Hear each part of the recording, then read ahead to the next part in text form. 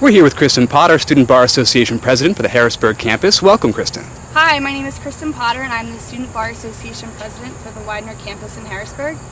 So, Kristin, what's going on with the Student Bar Association this year? Um, Student Bar Association is mostly responsible for planning several events on and off campus, both philanthropic and both social for our students. A lot of our social events are our Dean's Picnic, which is coming up in a couple weeks. We also have a Halloween party, the Barrister's Ball, and our 30 Days party where we say goodbye to our outgoing class. Isn't it true there's also some elections coming up? In the beginning of each year, we elect new reps for each class, so you'll be having elections coming up next week. Can anyone be a rep? Anyone can be a rep. So, what do they do? Do they come to you? Do they tell their class? How does it work?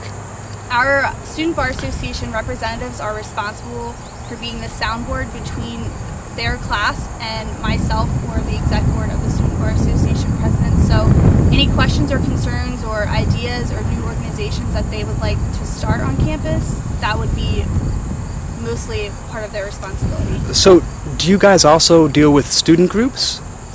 Yes, Student Bar Association also deals with the student organizations on campus. What are some examples of student organizations that are currently fun and exciting for maybe for some for 1Ls to, to give a try? Some of our student organizations on campus right now are our Federalist Society. We have our Animal Legal Defense Fund, which is starting to make a comeback. Um, our Environmental Law and Policy Society, as well as our honor societies, the Widener Law Journal, Moot Court, Trial Advocacy, all right. Now you've gone from from Bright 1L to Student Bar Association president in just a few years. Do you have any advice for the 1Ls coming in this year?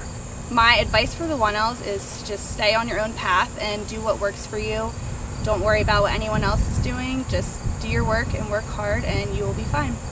All right. Thank you, Kristin Potter. Again, this is Kristin Potter, the Student Bar Association president in Harrisburg.